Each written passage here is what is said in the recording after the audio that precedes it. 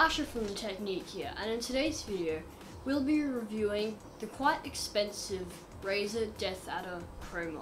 Is this worth the $70 that you're paying? We'll be answering that question in this video. And we'll also be comparing it to the last mouse I reviewed, the Logitech G402 gaming mouse, which is a bit cheaper, it being $42. Now this has got 5 buttons in total. Of course there'll be the left, the right click and the scroll wheel but there's also these extra two buttons on the side, which as default will act as back and forward, but on the Razer program, you can actually customize every single button to whatever you want, which is similar to the Logitech gaming mouse. As for the Logitech gaming mouse, it has 8 buttons in total, and you're probably thinking straight away, well, it has more buttons, so that's really good. Not necessarily. When you get lots of buttons, it can get a bit hard to try and press the right button without accidentally hitting another button. Also, it could take some time to work out which button is which. Also, on the Logitech gaming mouse, you can't use it in both hands. It's mainly a right-handed mouse. With the Razer mouse, it's made more towards a right-handed person, but you can still use it in your left hand. It just might be a little harder to press the buttons, but it's still ergonomic in that way. Talking about ergonomics, the Razer Death Adder Chroma is very ergonomic. One feature that standed out most to me is when you have it in your hand, right here you have a spot to rest your palm. Which when you first see this video, it might, it might not see, seem like a big thing, but once you use this for a long time, you'll understand what I mean. One key thing that will make this mouse feel more comfortable is that the main contact point is actually right here, except on the Logitech mouse it'll be a bit further down. Another feature for this mouse that will make it look better than the other mouse is this actually has RGB, which stands for red, green, blue. And with most cheap RGB systems, the white will look sort of blue colored. But because this is quite an expensive mouse, the red, green and blue combined makes the white look very organic. Now onto the build quality. They're both made out of very good quality plastic. But the cable on the Razer Death Adder Chroma seems to be a more braided design, meaning it could probably last longer and it looks better. As for the cable length, the Razer mouse is about 10 centimeters longer than the Logitech mouse.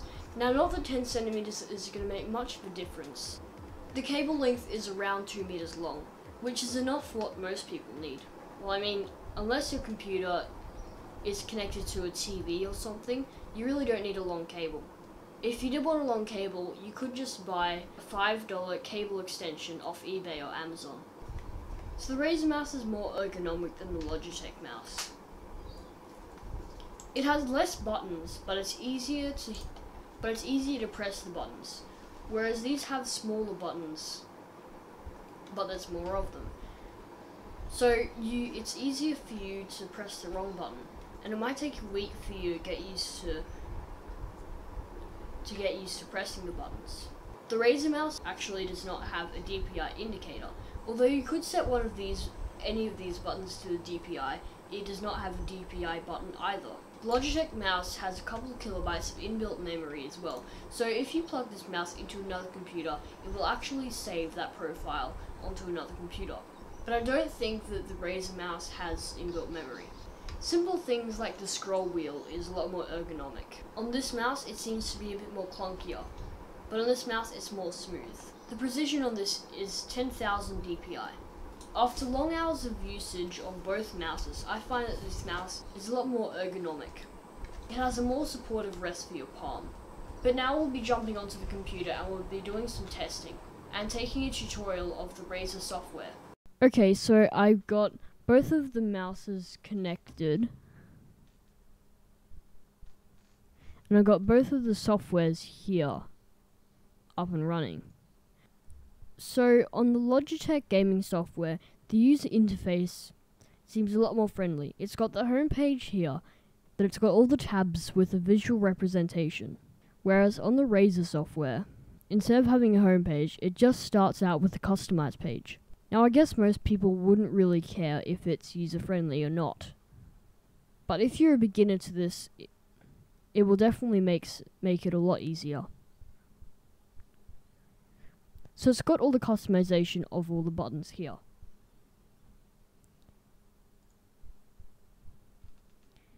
And you can assign pretty much pretty much anything to whatever you want. For instance, if I click on the right click, it's got default here, but you can select between all of these. If I hit keyboard function, you can type in the keys, you can type in any key that you want and it'll save it as that. I'll leave it as default because I want my right click to just be a right click.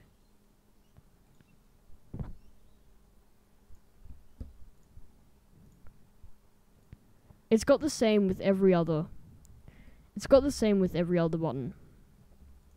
Under performance, it'll have the DPI, the acc the acceleration, which I like to leave as default. I can't even um put that. It seems to be pretty easy to create profiles as well. And the profile name.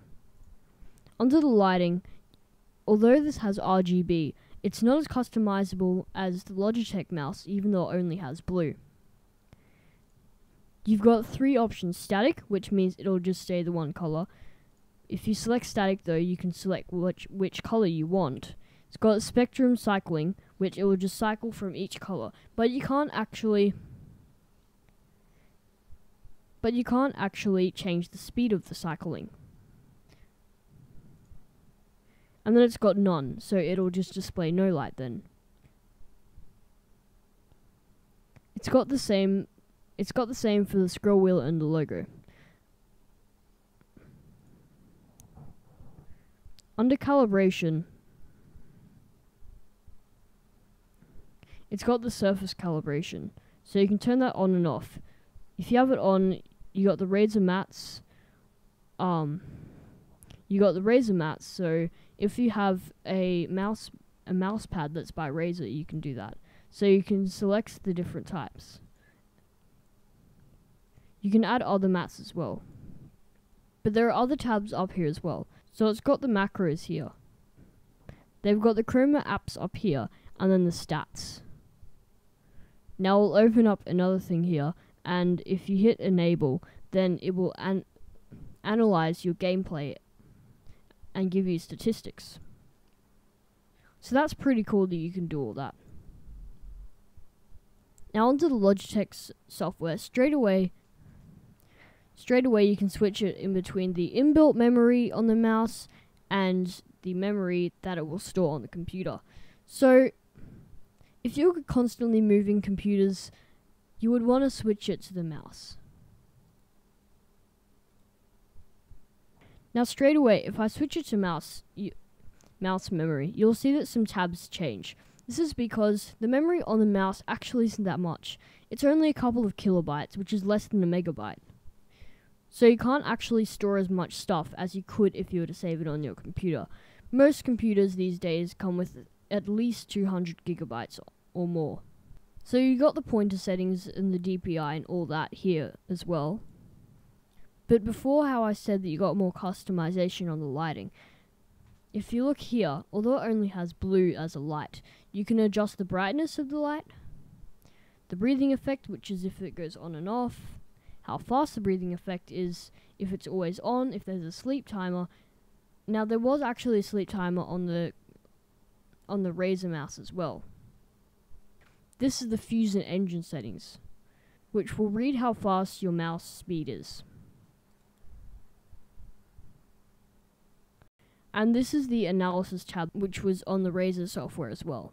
So both softwares have mostly the same things, but I find that the user interface on the Logitech software is a lot more user friendly for someone who's a beginner and might and may not know this sort of stuff. There's also a lot more animation on the Log on the Logitech software.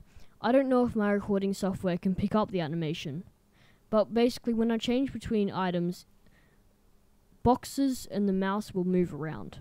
It also has a visual representation of the mouse when you apply that. For instance, it has the breathing effect and all that on the mouse on the picture.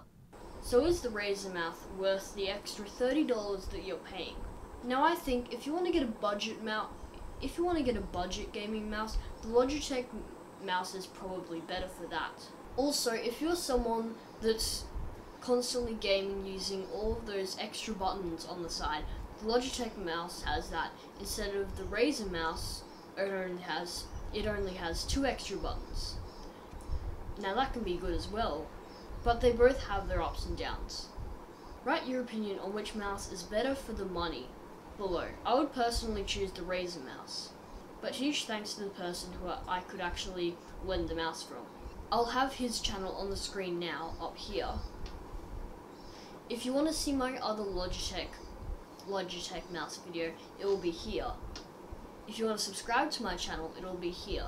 Thanks for watching and see you in the next video.